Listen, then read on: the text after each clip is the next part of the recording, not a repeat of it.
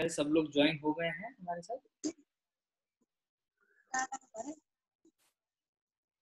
Okay तो जो last अपना चैप्टर था, उसको मैं डिस्कस कर रहा था तो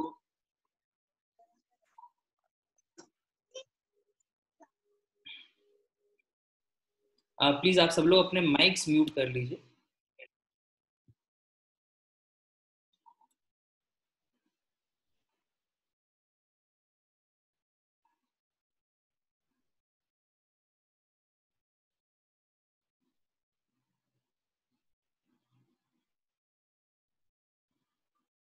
बढ़ू, आगे बढ़ू?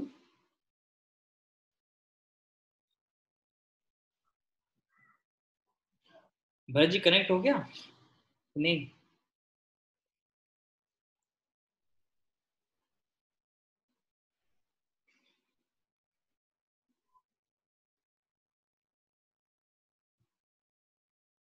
कि हमारे जो कैश फ्लो क्वाड्रेंट है, इसमें रहने का मतलब क्या है? अगर आप ई ई में रहते हैं अगर आप ई क्वाड्रेंट में रहते हैं तो आपका बेस है सिक्योरिटी सिक्योरिटी मतलब क्या? आप ढूंढेंगे हमेशा कि यार हमको एक सेफ़ सिक्योर जॉब मिले उसमें पेमेंट अच्छी होनी चाहिए बेनिफिट्स अच्छे होने चाहिए। बेनिफिट मतलब कैसे बेनिफिट्स बेनिफिट्स मतलब हाँ भरत जी कनेक्ट हो गए कनेक्ट हो गए। जी जी। बहुत बढ़िया। तो मैं एक मिनट म्यूट कर रहा हूँ आपको। जी। तो जैसा हम लोग बात कर रहे थे कि हम लोग अलग अलग क्वाड्रेंट्स की बात कर रहे थे। रॉबर्ट कियोसाकी साहब ने चार क्वाड्रेंट्स में सब पूरी दुनिया को बांट दिया और क्वाड्रेंट में रहना मतलब उस माइंडसेट के साथ रहना। तो एक माइंडसेट समझते हैं, क्योंकि क्या होता है जब हम प्लान दिखाने के लिए जाते हैं किसी को तो उसका माइंडसेट समझना बहुत इंपॉर्टेंट है। और अगर ये किताब आप प्रॉपरली पढ़ के जब जाओगे किसी के पास तो आपको एक तरह से पहले से ही मालूम होगा कि सामने वाला क्या बोलने वाला है। और आप, आपका एक एक माइंडसेट आपका क्लियर रहेगा कि यार मुझे इस बंदे से ये बात सुनने मिल सकती है। जैसे अगर एम्प्लॉय के पास अगर आप प्लान दिखाने जाएँगे तो वो ये चीज़ बोलेगा कि भैया मैं तो एक बहुत ज़बरदस्त सिक्योर जॉब को तलाश कर रहा हूँ, जिसमें पेमेंट बहुत अच्छी मिलेगी और बेनिफिट्स बहुत अच्छे मिलेंगे। जैसे मुझे छुट्टियाँ मिलेंगी लीव विद पे मिलेगी और आ, मुझे शायद हेल्थ इंश्योरेंस मिल जाए या मुझे फ्री हॉस्पिटल चेकअप्स मिल जाए जो भी चीज़ें हैं ये इनको बेनिफिट्स बोला जाता है है ना? फिर उसके बाद वहीं आप एस क्वाड्रेंट में जाएँगे तो एस क्वाड्रेंट वाले लोग जो रहते हैं ये बोलते हैं कि अगर आपको कुछ काम करना है तो वो करो खुद से। If you want to do something right you have to do it by yourself ये इनका मेन मोटो रहता है। जैसे सर्जन को आप देखेंगे वो कभी भी किसी और सर्जरी नहीं कराएगा वो खुद सर्जरी करेगा। वी बीइंग फिजियोथेरेपिस्ट हम लोग खुद से पेशेंट को देखना ज़्यादा पसंद करते हैं। मैनुअल थेरेपी में हम लोग खुद अपना अपने हाथ से पेशेंट को मैनिपुलेशन uh, देना ज़्यादा पसंद करते हैं रादर देन किसी और को देने के लिए। तो uh, दुकानदार को आप देखेंगे तो वो लोग भी वो खुद जब तक गले पे नहीं बैठेंगे तब तक वो सेटिस्फाइड नहीं रहेंगे। उनको लगेगा कि नहीं यार, हमारा जो टर्न ओवर रहेगा वो कम हो जाएगा। तो ये सेल्फ सेल्फ एम्प्लॉयड बंदे की एक बहुत बड़ी कमज़ोरी होती है कि अगर खुद से कुछ मतलब करना है अगर सही से तो करो खुद से। उसका नारा ही ये रहता है। और इसीलिए वो बंदा पूरी तरह से डिपेंड करता है खुद के ऊपर। अगर उसे कुछ हो गया चाहे वो बीमार पड़ जाए, चाहे वो किसी कारण से अपने काम पे ना जा पाए तो उसकी इनकम ऑलमोस्ट खत्म हो जाती है। ओके? यही अगर हम लोग बात करते हैं बी क्वाड्रेंट के तो ये लोग बोलते हैं, हम एक टीम के साथ काम करना चाहते हैं, जिस टीम में सबसे बेस्ट क्वालिटी के लोग ये माइंडसेट अपन लोगों को प्रिपेयर करना हम जो काम कर रहे हैं इसमें हम कुछ लोगों को सिलेक्ट कर रहे हैं ताकि हम अपनी टीम बना सकें। ये बिज़नेस माइंडसेट हम लोगों को रखना। क्यों? क्योंकि हो सकता है देखिए आज आज जैसे मैं आ, मैं एक फिजियोथेरेपिस्ट हूँ न्यूट्रिशनिस्ट हूँ बट मेरी टीम में ई एन टी सर्जन है ऑर्थोपेडिक सर्जन है आ, मेरी टीम में इंजीनियर्स हैं मेरी टीम में कई टीचर्स हैं मेरी टीम में हाईली क्वालिफाइड गवर्नमेंट प्रोफेशनल्स हैं ये सब लोग मेरी टीम तो मैं, हो सकता है कि मैं मैं किसी चीज़ में अगर पीछे हो रह भी गया तो ये लोग इन लोगों का जो माइंडसेट है और इन लोगों के साथ जो इनकी जो स्किल्स हैं, इनको मैं यूटिलाइज कर सकता हूँ। ओके? तो ये टीम का एक बहुत बड़ा बेनिफिट होता है। दूसरा बेनिफिट क्या है टीम का? कि आपके साथ अगर, देखिए, टीम दो तरह की होती है। एक, अगर उस पूरी टीम में आप सबसे ज़्यादा इंटेलिजेंट इंसान हो तो टेंशन वाला काम। बट अगर आप लीडर तो हो ही, लेकिन आपके अलावा भी कई सारे इंटेलिजेंट लोग उस टीम में हो तो ज़्यादा बेटर है। क्यों? क्योंकि आप, हो सकता है आपका जो जो काम करने का तरीका है वो थोड़ा अलग हो, दूसरे लोगों का थोड़ा सा अलग रहेगा। लेकिन अगर same set of rules follow करते हुए अलग अलग तरीके से लोग काम कर रहे हैं और अपनी इंटेलिजेंसी के हिसाब से वो लोग काम कर रहे हैं तो वो आपके लिए ज़्यादा बेनिफिशियल है क्योंकि उस उस उस चीज़ को भी आप रीप आउट कर पाओगे ओके okay? तो इसीलिए बिज़नेस ओनर्स जो होते हैं, इनमें और सेल्फ एम्प्लॉयड लोगों में यही फ़र्क है कि सेल्फ एम्प्लॉयड बंदा जो रहता है, वो जनरली सबसे स्मार्टेस्ट पर्सन रहता है अपनी टीम का, अगर टीम है उसके पास तो भी और बिज़नेस ओनर जो रहते हैं, उनसे कई ज़्यादा स्मार्ट लोग अपनी टीम में इंक्लूड करते हैं। जैसे फॉर एग्जांपल मैं जिस कॉलेज में था उन, उनका जो उनके जो ओनर थे, उनका एजुकेशनल बैकग्राउंड कॉमर्स का था। बट उन्होंने कई सारे डॉक्टर्स को हायर कर लिया तो हॉस्पिटल बना लिया। फिजियोथेरेपी डिपार्टमेंट में हम जैसे कई सारे फिजियोथेरेपिस्ट को उन्होंने हायर कर लिया तो डिपार्टमेंट बन गया कॉलेज चल रहा था।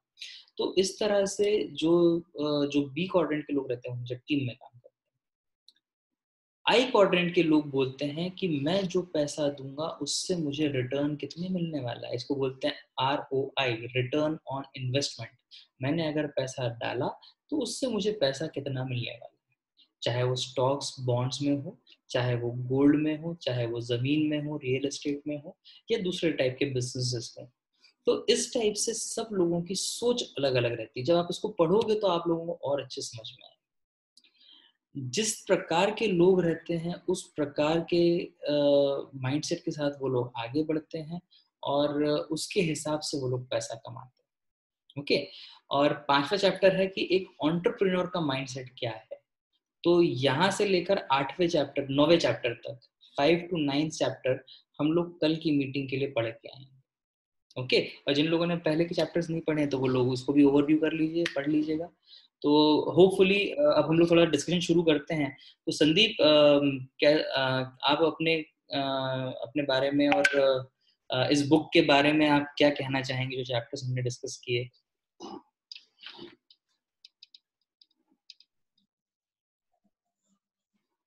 हेलो संदीप? हाँ सर। आ, इस इन इन चैप्टर्स के बारे में आप कुछ रोशनी डालना चाहेंगे? कुछ ऐसे पॉइंट्स जो शायद मैं नहीं कवर कर पाया। सर वैसे तो आपने बिल्कुल अच्छे से सारा चीज़ समझा दी है बट मेरे पॉइंट ऑफ़ व्यू से कुछ पॉइंट्स मैं भी बोलना चाहूँगा कि जो एक एक जितने भी क्वाड्रेंट्स हैं वो उनके काम को तो डिस्क्राइब करते ही हैं साथ साथ माइंडसेट को भी डिस्क्राइब करते हैं। बिल्कुल बिल्कुल। इसका जितना माइंडसेट है उस क्वाड्रेंट में वो है। तो सबसे पहले हमें काम से पहले अपने माइंडसेट को डेवलप करना होगा देन काम तो हम साथ में करते ही जाएँगे। क्या ये मेरा पॉइंट आज की जो पढ़ा तो मुझे अच्छा लगा। बहुत बढ़िया बहुत बढ़िया। बहुत ही ज़बरदस्त।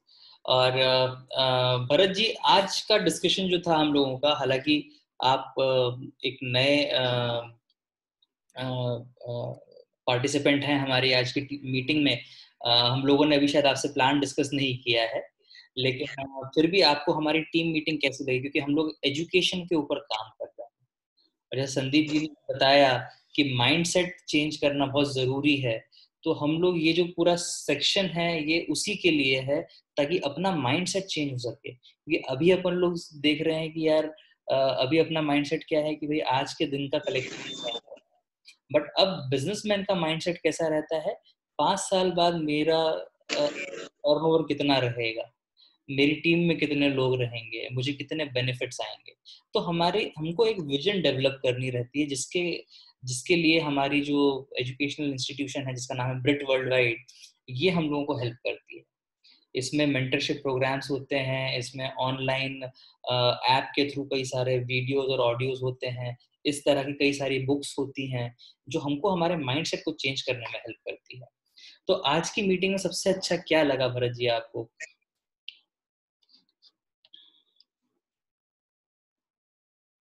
अनम्यूट कर दीजिए सर एक सेकेंड हाँ भरत जी। तो सबसे बेस्ट क्या चीज़ लगी आपको आज की मीटिंग में? हेलो। हाँ भरत जी। आ रही है आवाज़ आ रही है। हाँ आवाज़ आ रही है मेरी। बिल्कुल बिल्कुल। आवाज़ आ रही है। मेरे से बात करना आपकी? हाँ हाँ मैं आप ही से पूछ रहा हूँ। कि जो आज की जो हम लोगों का जो आज प्रेजेंटेशन रहा जो हमारी टीम इसमें सबसे अच्छा क्या लगा आपको? सर अच्छा लगा। जी सबसे बेस्ट चीज़ हेलो। जी जी जी आवाज़ आ रही है।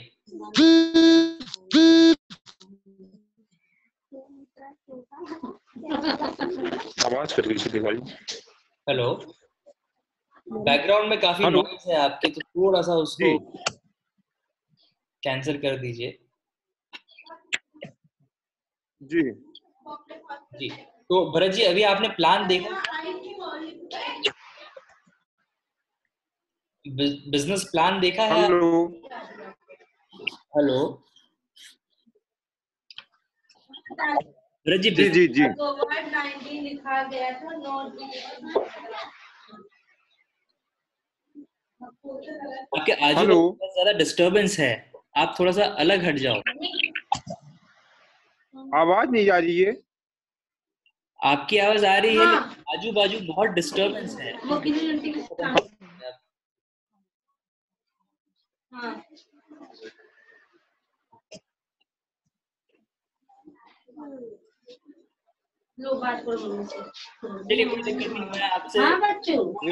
सर हम लोग कॉल पे बात करते हैं ना? हेलो। कॉल पे बात करते हैं? Done done done. बिल्कुल। सर आवाज़ नहीं आ रही है। ठीक है हम लोग आपको कॉल करते हैं कॉल पे बात करते हैं। ओके okay, तो आज की मीटिंग में यही खत्म करना चाहूँगा। आप लोगों के कुछ अगर सवाल हो या कुछ डिस्कस करना चाहें अपने पॉइंट्स रखना चाहें तो you are most welcome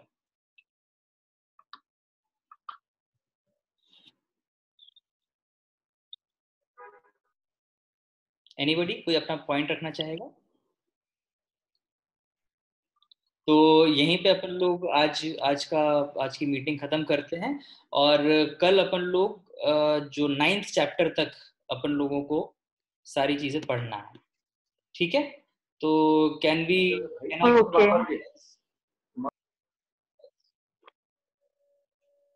क्योंकि मैं बिंदु सर को एक सरप्राइज़ देना चाहता हूँ। हम लोग ये बुक पूरी पढ़ के और फिर उसके बाद हम लोग बिंदु सर को इनवाइट करेंगे and let him spread the wisdom of his on this book तो उससे पहले अगर हम लोगों ने इसको पढ़ लिया तो हम लोगों को बहुत अच्छे समझ में आएगा और इसको अप्लाई कैसे करना है हमारे एम्बे बिज़नेस में ये भी चीज़ हम समझ पाएँगे। श्योर श्योर डेफिनेटली ग्रेट तो मैं आपको हेल्प बस आपको हेल्प करना पड़ेगा हमारी रोज थोड़ा थोड़ा गाइड करने में बिकॉज़ आपने अभी कहा तो और ज़्यादा अच्छे से समझा। बिल्कुल बिल्कुल I am always there for my team रात को 12 बजे भी मैं अवेलेबल हूँ कोई दिक्कत नहीं है। डेफिनेटली थोड़ा थोड़ा हम भी पढ़ते रहेंगे आप भी बताते रहना तो कैसे थोड़ा क्लियर हो जाएगा कंसेप्ट यस ओके तो चलिए करते हैं। All the best everyone okay okay okay bye bye bye bye bye